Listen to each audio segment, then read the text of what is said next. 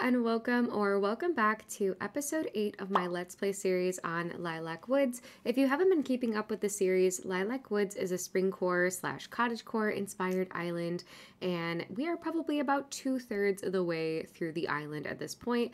And honestly, I'm starting to feel a bit nervous that I've miscalculated and we really don't have a ton of space left, but we have several villager houses and both of the shops. So today we are going to be working on placing Nook's Cranny. I was super inspired by a recent island tour that I did. If you haven't seen it, I will link it in a card up above. But on that island, she has a section where there's a circular path with a destination signpost in the middle, and it is absolutely stunning. And I really wanted to incorporate that. While I was time traveling, I realized that we actually have an empty plot, and I really didn't want to go villager hunting, so we're just gonna let the plot autofill, and I'll show you guys who we end up getting. Goldie's house ended up being right in the middle of the area here, and so we just kind of had to move her. I think I may permanently leave her house here in the back of the island, and maybe we'll do that. But then Gonzo moved on, and I'm so excited. I absolutely love him. Let me know in the comments if you guys think we should keep Gonzo, or do you think I should let him move away and maybe autofill with a different villager for this island. I don't know, there's just something about him that's so cute, and I feel like his house exterior fits pretty well with this theme, so at this point I'm kind of thinking to keep him, but I would be willing to get rid of him if you guys disagree, so let me know what you think. But then I started working on this area behind Nook's Cranny. I just wanted to build up some cliff here and I knew that I wanted there to be an incline going up to just a separate area. I'm not exactly sure what it is yet, um, but I think the cliffs make such a nice background behind like big buildings and houses. I tend to do that a lot when I'm decorating. I don't know, once we finish this island, I do feel like it's time for me to figure out a theme that is just very outside of my comfort zone because I do feel like I've fallen into a little knack with decorating and I feel like starting off with a theme that's very foreign to me would probably help me to get out of that little rut. I am really enjoying it though, so I'm definitely not complaining. And then I'm over here by this little lake just building an island to put a, a tree on. I just think it makes it look more full and natural and you know, I don't know. I just think it's cute. And then I threw down a water custom code and of course some decoy ducks. They're one of my favorite items in the game. And then I tried to decide if I wanted that little hop over there and then I decided against it. I kind of think the lake on its own looks pretty cool. And then I wanted to shape this area so that the cliffside or cliffside, so that the water side just looks a little bit more natural and less straight. I was kind of dreading decorating that area, to be honest with you, because it just felt so awkward with the big cliff in the front. It kind of like obstructs the view. Um, but I'm working on the main area now, just throwing down a few items that I had in mind. Um, spoiler alert, I do end up removing the simple well um, because I just kind of felt like it didn't look right. I feel like there's something about this like center area that I just can't seem to figure out. So if you guys have any suggestions for items that you feel like would look good there, I tried like the street lamp, the destination signpost, like none of them just looked quite right because they blocked the view of Nook's Cranny too much. And I don't know, I am so open to your guys' suggestions though because it needs something. I don't know what that something is though.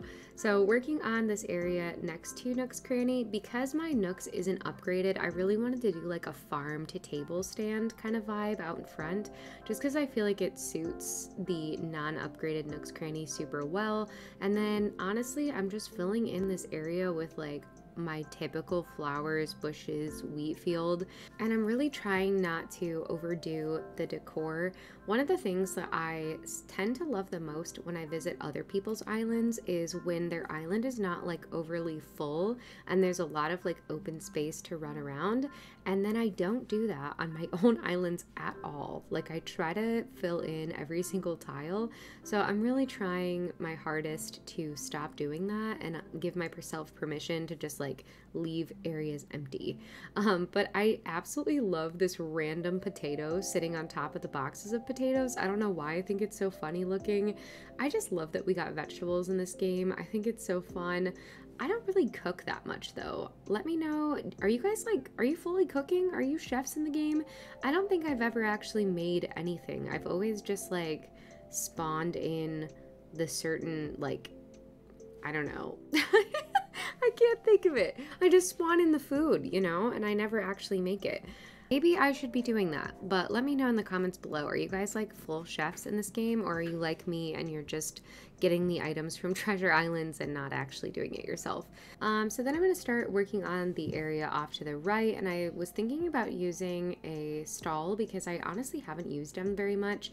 Since we got the storefront, that's kind of my preferred stall like item, and I've stopped using certain items in the game, and I'm really trying to kind of like diversify my decorating a little bit. There was something about this area though that just like wasn't jiving. So I took a break. We had a campsite villager and it is Pecan.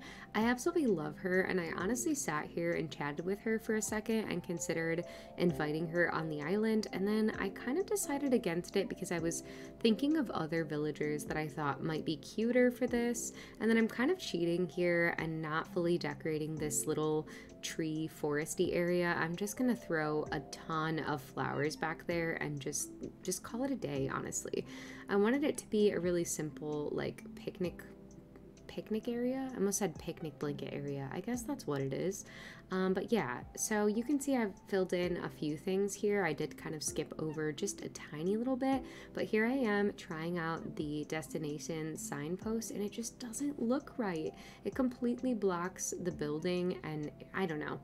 Would you guys have left it? I just think it looks kind of funky. But then I remembered that we have the plain party lights in this game, and they're one of my favorite items. I always forget about them. And they look so cute, just like framing the entrance. In the end, I ended up just going with a simple green leaf pile, and I think it looks pretty cute and it doesn't distract from the overall build. And I still think that like circular path there ends up looking really cool. So I don't know. I don't totally hate it. I don't totally love it either. I would love to hear your suggestions because I feel like I need some help with this area of the island.